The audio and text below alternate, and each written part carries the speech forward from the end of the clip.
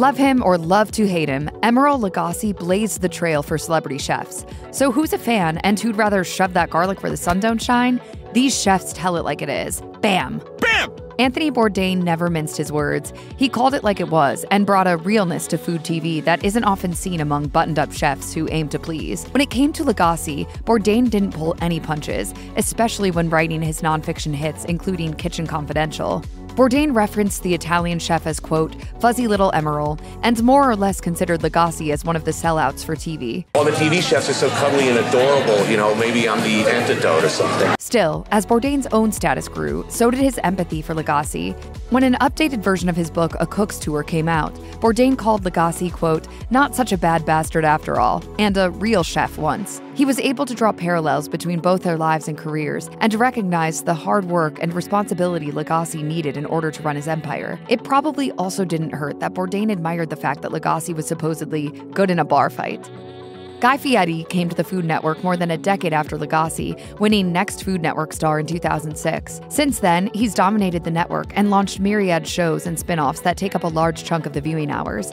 He's arguably built an empire that could rival Lagasse's. In fact, both Fieri and Lagasse are estimated to be worth a cool $70 million. That fact aside, Fieri still seems to hold a great respect for his Food Network predecessor. In the Washington Post, Fieri called Lagasse the Elvis of food television and described his style style as a full on culinary rock concert. But Fieri has also mentioned the chef's kindness. He recalled a time when Lagasse loaned Fieri his private jet so he could travel from Mexico back to the States following a death in the Fieri family. While Fieri mentioned that he and Lagasse didn't know each other very well at the time, the two have gone on to collaborate on projects, including on an episode of Fieri's Diners, Drive-Ins, and Dives. Dude, Triple D shows up in your house and Emeril Lagasse? Yeah!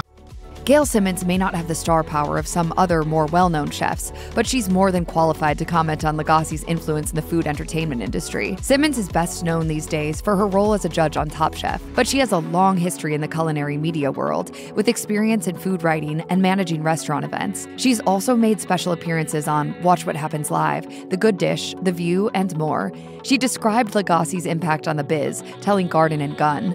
He made cooking sexy. He was a manly man. Throw on some whiskey, kick it up a notch. If you don't mind, we're gonna manja manja, Abruzzi style, right here on Emeril Live. She went on to praise him for breaking down the 90s era stereotype that home cooking was strictly a woman's domain.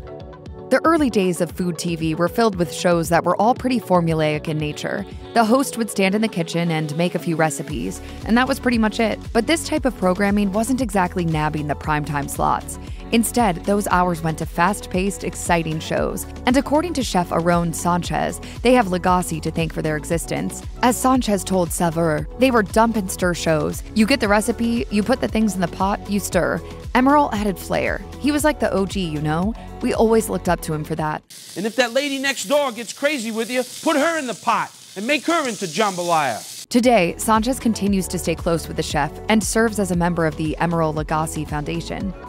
Ruth Reichl may not be immediately recognizable to the average food TV fan, but she's certainly a queen to any foodie who's delved beyond the typical mainstream personality. Reichl's long career includes work as a cookbook author, food writer and editor, restaurant critic, restaurant owner, and novelist. She's also received multiple James Beard Awards and has made her share of TV appearances on shows like Top Chef Masters. I love the physical act of cooking. I, I like everything that you can do in a kitchen. But even with a resume like that under her belt, she still has praise for a certain trailblazer. She explained to Saveur, Emeril was something new, a smart, funny chef who was showing people that chefs didn't have to be snooty or cook complicated food. Emeril was the first to go on TV and say, This is what a chef looks like today. He opened the door for everyone else.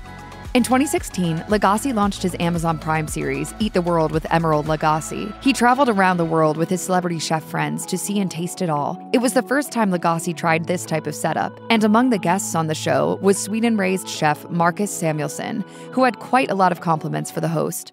Emeril, we can't thank you enough. You could have been anywhere, and you choose to include us on your journey? Samuelsson hailed Lagasse for sending cooking into the mainstream and referred to him as both a mentor and a friend. Samuelsson was also quick to note the importance of the show and Lagasse's presence on a more personal level. He recalled to Esquire, I couldn't think of a better ambassador than Emeril to tell the world, hey, they're doing it. It's delicious. Sweden is a very hidden gem, and he can share that. Eat the World with Emeril Lagasse aired for just one season, featuring six 30 minute episodes. But Lagasse's innovative legacy looks like it will last for decades. Darnell Ferguson is a relative newcomer to the celebrity chef scene, but you may have caught him on Worst Cooks in America, Guy's Grocery Games, or Tournament of Champions. He's also appeared on The Rachael Ray Show and countless network daytime shows. Today, Ferguson owns several restaurants, and his journey to success and stardom began with Emeril Lagasse. According to his interview with FSR magazine, Darnell was a fan of Emeril Live and as soon as he saw Lagasse's star power, he knew he was meant to follow in the chef's footsteps. Ferguson's journey was a winding road that involved all sorts of experiences, and not all of them were food focused. He worked as a chef at the 2008 Beijing Olympics, spent time in and out of jail, suffered homelessness, launched his own restaurants, and then expanded his restaurant empire throughout the East Coast and all the way to Las Vegas. Eventually, he began appearing on TV, which ultimately led Ferguson to meet his hero. A surprise appearance by Lagasse when Ferguson was on The Rachael Ray Show finally brought the two together. Ferguson explained on the show It all started with me watching him on TV and him living out who he was first. If he didn't do that, I may not be where I was at today. Since we're talking about Rachael Ray, there have been rumors that she and Lagasse had a contentious relationship. Lagasse was already firmly cemented into the Food Network lineup when Ray came onto the scene. She met him before her show became official, when she appeared on Emeril Live and started a kitchen fire. Shortly after, Ray debuted her series 30 Minute Meals, and Lagasse got the boot from Food Network. Lagasse was quoted in the book From Scratch, Inside the Food Network, saying he wouldn't have given her a spot at Food Network, adding, She doesn't know anything about food. I would not put her on. With Oh, baby. But Ray sang a different tune, at least publicly, calling Lagasse one of her greatest cooking inspirations when he appeared for the first time on her morning talk show. Whatever their behind the scenes drama, the two frequently swim in the same circles these days. Lagasse regularly appears on The Rachael Ray Show, and you can find plenty of his recipes on the show's website. The two attend charity events together, like the 8th annual Beacon Celebrity Chef fundraiser in 2023, benefiting students in Wilmington, North Carolina. Ask any Julia Child fan who the real OG of celebrity chef and cooking TV is, and they definitely won't point to Emeril Lagasse. It also might seem like Child's and Lagasse's timelines could have never crossed. Julia Child was born in 1912, published her first cookbook in 1961, and premiered on public TV in 1963. Still, her career lasted so long that she did indeed encounter Lagasse after his rise to fame in the 90s. In 1999, Child sat down with the Television Academy Foundation, in which she commented on Lagasse and the Food Network in general. She remarked that while the network was facing a challenge in growing its viewership, Lagasse was an object of audience adoration. She explained that the draw was pure entertainment, adding, They're not going to watch a serious thing on how to bone a turkey or something like that. This was a stark contrast, she said, to the type of educational content that she offered audiences. But despite the clash in culinary approaches, her opinion of the chef didn't stop her from featuring Lagasse on her show, Julia Child Cooking with Master Chefs. Sunny Anderson also got her start, in part, thanks to Lagasse. These days, Anderson is a familiar face on the Food Network, but she landed her first appearance on Emeril Live in 2005 after a Food Network staffer heard her on the radio. At the time, she worked in broadcasting, but made no secret of her love of cooking. Taste it. Taste what you just did.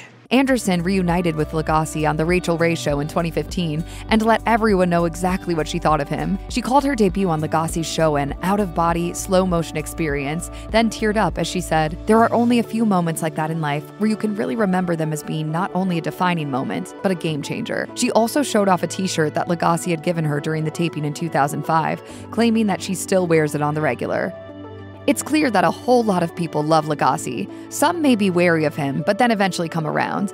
And then there are those who really can't stand the chef. Of course, his non fans include unsatisfied customers who purchased his branded products, like air fryers, kitchen clogs, and knives. But there are a few professionals in the mix too, and chef Sarah Grueneberg is one of them.